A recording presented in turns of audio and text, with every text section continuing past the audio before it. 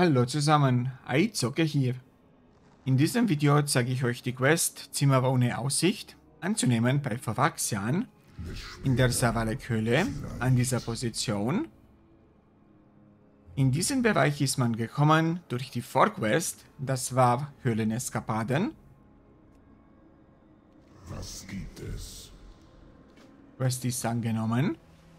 Nun geht es in diese Richtung. Hier noch eine Höhle in der Höhle. Also hier geht es von Höhle zu Höhle zu Höhle. Und wir brauchen Artefakte. Drei Stück. Natürlich sind auch Gegner hier. Böse Elite. Aber durch den Verwachsen haben wir diesen Buff. Verwachsens Bollwerk. Da passiert uns nicht allzu Schlimmes. Äh, die Mobs sind aber dennoch nicht ohne. Auch mit diesem Buff.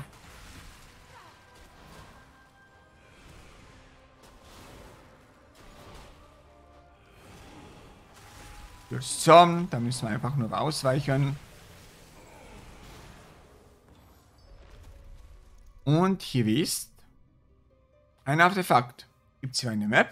Nein, es gibt keine Map von diesem Bereich. So.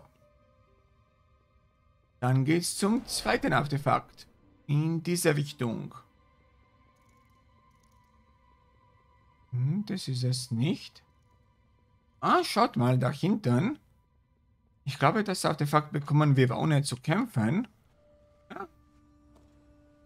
Okay, ich könnte jetzt Schattenmimik machen. Das mache ich auch. Spart Zeit.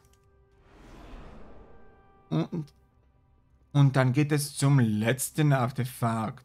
Hier hinein. Hm, noch kann ich es nicht. Ah, da. Okay. Hm, dann bekämpfe ich diese Mobs, die denn. Weil zwei auf einmal sind ziemlich übel, trotz dieses Buffs.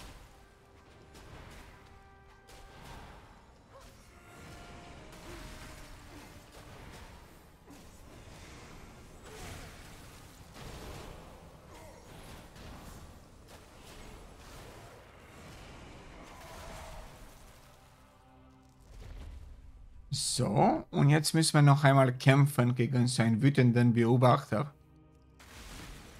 Ah, ich glaube, hier kann ich aber meine Cooldowns benutzen. Der müsste erstmal der letzte sein. Sei denn auf dem Weg nach Hause sind noch einige nachgespawnt.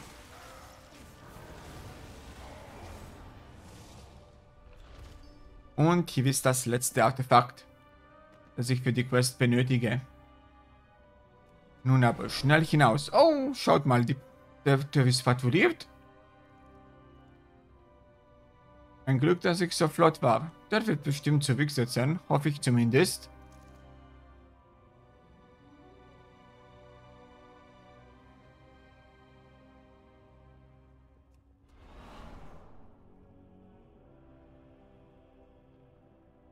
So, außerhalb vom Kampf bin ich.